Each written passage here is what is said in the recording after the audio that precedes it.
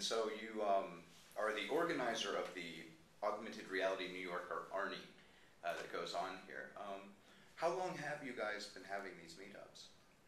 So uh, we, we, we've had eight meetups so far, started in December, uh, actually November last year. Um, and um, initially I wasn't sure that we're going to have enough interest in New York. I mean, New York is very strong on media side, but not very much on the uh, tech community. So I went to the uh, New York Tech Meetup uh, and uh, made a couple of presentations of uh, Ogmento's products and got tremendous response. It was just phenomenal. Uh, made a lot of friends and then realized, hey, maybe it's a good time to, to get started with uh, our own AR-focused meetup, and that's what we did. Right in time where the AR Dev Camp on the east, on the west coast started, and you know, started small, 30, 40 people, and now it's about it's more than 330 people members. Uh, and we get, I don't know, 60, 70, 80 people every meetup. Uh, but more than the, the quantity, it's really the quality of people. Uh, you really get a, a tight-knit community and people coming from all walks of life. We have, you know, some developers, some artists. Um, we have uh, journalists, lawyers, and even a police officer. Uh, all, all really enthusiastic about AR, and the discussions are. I mean, we have typically you know four or five demos of the latest and greatest. Uh, but the conversations before and after is really what makes it uh, such a, great success, uh, and we enjoy it. Yeah. So what do you have um, planned? Because I know you had Google goggles when I was here at this last one, as well as a surprise visit from uh, the guys at Metaio. So um, uh, here coming down uh, for the the rest of the year and for the ARNY, any exciting things that maybe if I'm coming back through New York, I definitely should stop by to see. Uh... Absolutely. Usually we don't plan anything ahead. Um, it's like you know a couple weeks before we just you know ask people if they have something new, and they, usually they actually come with proposals, and then we, we quickly put it together. Um, but this time we actually decided to join forces with another vibrant community, the uh, New York Gaming Meetup, uh, which is a bit more mature than the AR in terms of the, the number of people and we decided to um, have a night dedicated to augmented reality games. And uh, it was really interesting to bring in the AR folks and the gaming folks into one room and, and, show that. So that's what we're playing for October. So if you're around October 19th, okay. uh, we're going to have a fantastic night. We already have uh, four uh, games uh, that were submitted by local teams, and we're trying to bring some more folks from uh, other locations. Tagdis uh, might be here as well from San Francisco, and we hope to get uh, Blair from Atlanta, from Georgia Tech, to come in and show some of their latest games. So it should be a really cool night. But um, so you're one of the organizers of the ARE uh, 2010, and what were your thoughts on that? Uh, what was your takeaway? I found it to be very informative myself. But uh, you guys, as the organizers, what was it like for you? So you know, we, we when, when we first got into augmented reality, we all uh, found ISMAR as the event. I mean, by far the the best and the most interesting. And um, last year, when it was in Orlando, uh, we were trying to create kind of a more business slash media oriented track to build upon the great scientific effort that is happening there, but taking it really more towards the industry. Uh, and track was pretty successful, but it always felt like um, ISMAR is by definition a scientific event, and, and, it should be that. It should remain that way. Uh, so it felt like there's a need for another event, another event which would really focus on uh, on the business side of things, on the production side of things, and the technology more in, in an industrial context. So there are certain things which are really cool um, for a real life application, but they're not a new paper in the AR world, so they're not relevant for ISMAR, and vice versa. So uh, that's why we, we thought it would be a good idea to start this event, join forces with uh, a couple of other uh, leaders in the space, and um, um, basically, you know, building on the relationships that, that I built with, uh, with the blog, uh, made you know contacts with all the leading companies, leading researchers, and started to bring create interest. And uh, feedback was great. Um, everybody thought it's it's important to, to have it. And very few people believe it's, it's actually possible to make such an event happen because it's too, it might be too early. Uh, but we just made it happen. You know, we brought in uh, 90 speakers from more than 40 companies. Uh, and there was enough content actually for a whole week. We condensed it into just two days, three tracks. Uh, and it was phenomenal. I mean, I enjoyed every minute.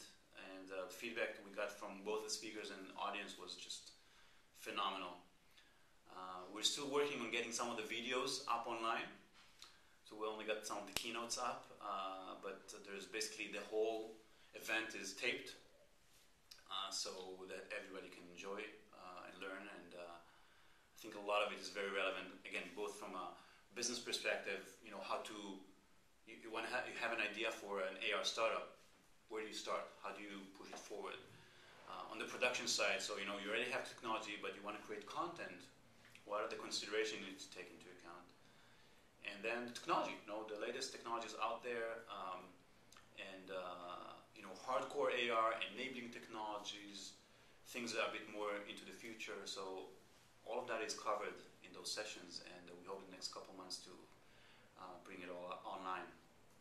Okay, and I take it Santa Clara will be the destination for next year. That's right. So next year, uh, same time, same place. Uh, we're gonna have the second uh, event, and uh, we already have the place locked down. I haven't started working on it yet, pretty soon we'll start uh, collecting some uh, ideas, content, speakers, and so on. Okay.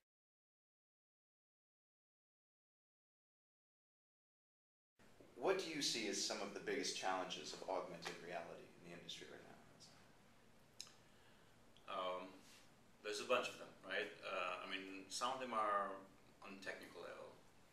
The fact that um, GPS by itself is just not accurate enough. So, and, and that's what people have uh, been using. So, on one hand, it's kind of showing the promise, but it's not really delivering on it. So, it actually creates some frust- frustration uh, by users. Um, and being able to really have good tracking and overlay in the streets, which is really where AR should go, is, is really hard to do right now. Uh, and it's going to take a couple of years until somebody figures out how to really make it work. Um, and uh, you know, one of the answers to that is uh, you know find a way to bypass these limitations and still create a fun experience. And, and gaming is you know built for that because you can use game design to um, you know create a game mechanic around those technical limitations. But it doesn't work in healthcare or in the military. It has to work perfectly. And so, you know, technical challenges is one. Um, think the other thing, when, especially when it comes to hardware, is that uh, you know there are great phones out there that are kind of decent. They have all the ingredients you need for AR, but they're very limited.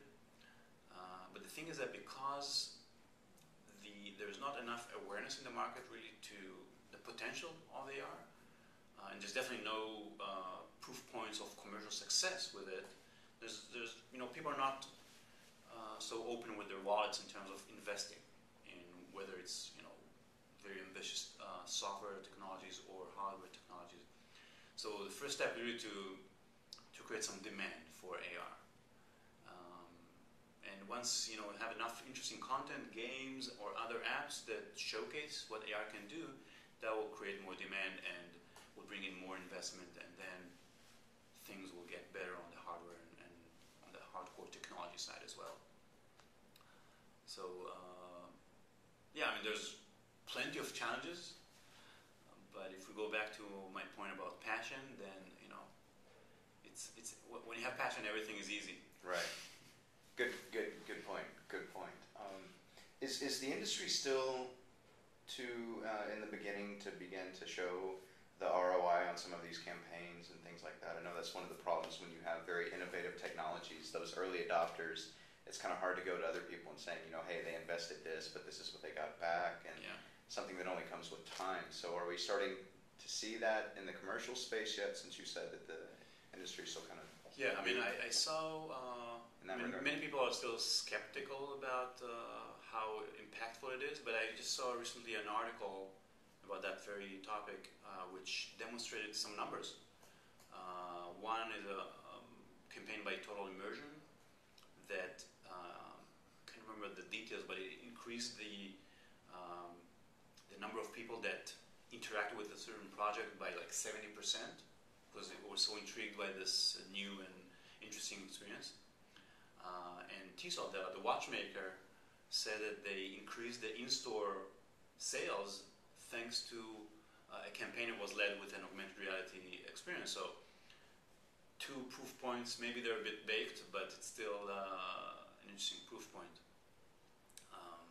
But again, as I said before that the thing with uh, augmented reality in front of a computer, in front of a webcam, it's somewhat more interesting than just uh, watching a screen or you know a 2D uh, experience on a screen, uh, but it's not significantly different.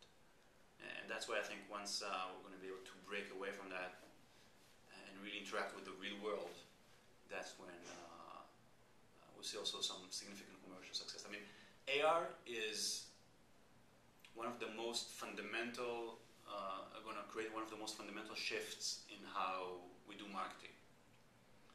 Um, just to, to you know give an, an idea of what I'm talking about.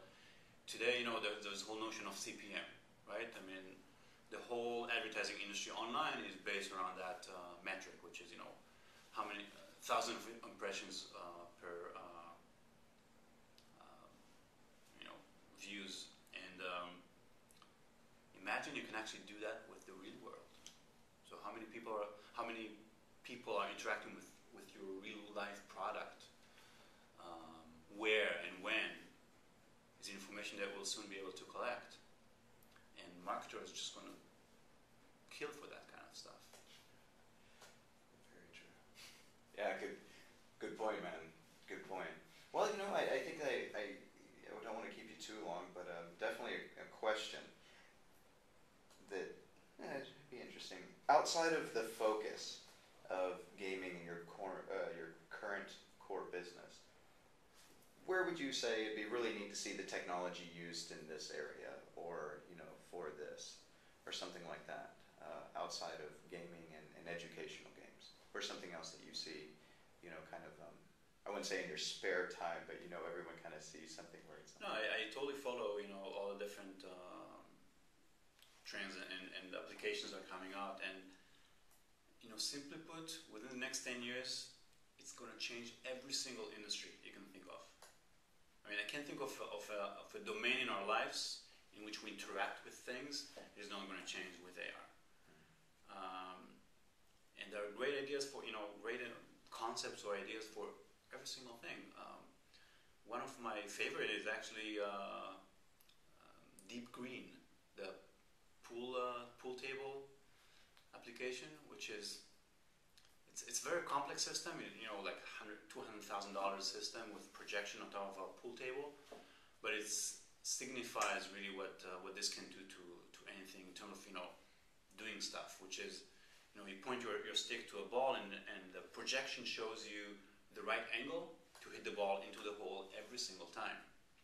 So you can basically become an expert in everything you do just by using some augmented reality, and that is is just mind blowing. Um, it kind of reminds me the you know in the movie Matrix, where Trinity sits in a helicopter and uh, uh, ask her if, if she knows how to fly. And she says not yet, and then she gets this program into her head that teaches her how to fly. So that that kind of sounds a bit far fetched, but with AR, you don't have even have to mess with, with your brain. You just have to overlay this information in front of you, and you know make you do anything. So this whole notion of uh, empowering humans to become kind of post-human, superhumans, whatever, AR is the killer app for that.